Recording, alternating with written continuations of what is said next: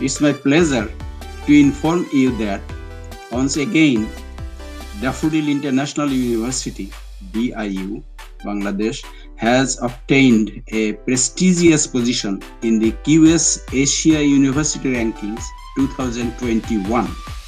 On this occasion, on behalf of the university, I would like to express our heartfelt thanks and gratitude to our international partner universities and member associations from all around the world for continuous supports, exchanges, and contributions to achieve the educational excellence for which the ranking position is awarded. Certainly, this achievement indicates the outstanding research potential of our faculty members as well as internationalization of the university. Now, all we need is to be united to face the pandemic with multidimensional digital aspects for mutual exchanges.